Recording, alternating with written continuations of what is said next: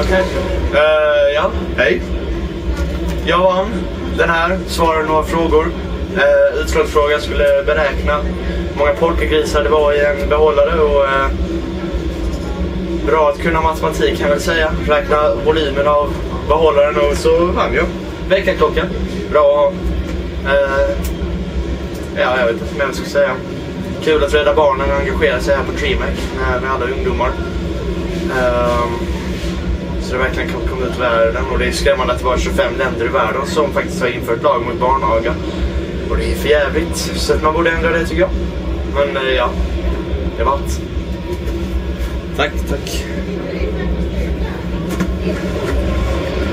Så, jag vet inte om man stänger av den. Nej, jag gör det.